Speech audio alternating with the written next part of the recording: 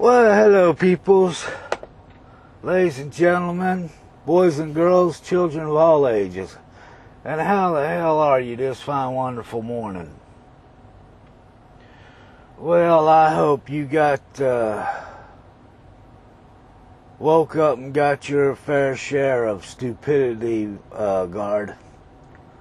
Because I'll tell you what, the bullshit that comes out of damn Washington, you know, why is it even, you know what? Why does it even surprise anybody? I mean, Washington has been lying to the American people ever since, by God, they probably developed the damn government for this country. I mean, hell. Dang, even the damn, uh,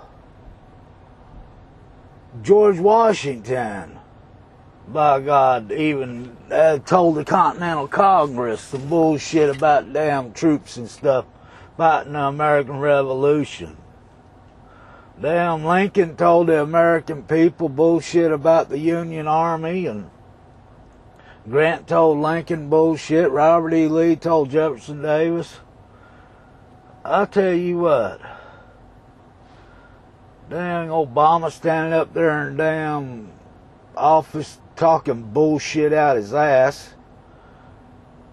Nobody's bothering to call him on it because damn American media is everybody. I tell you what, you know what? When did this damn country become so job scared?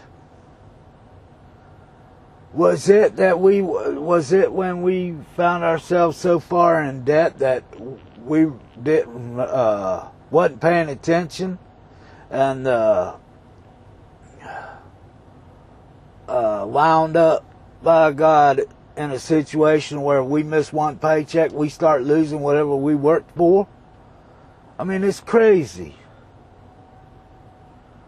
But I don't know. This damn, uh, this whole damn bullshit's ridiculous.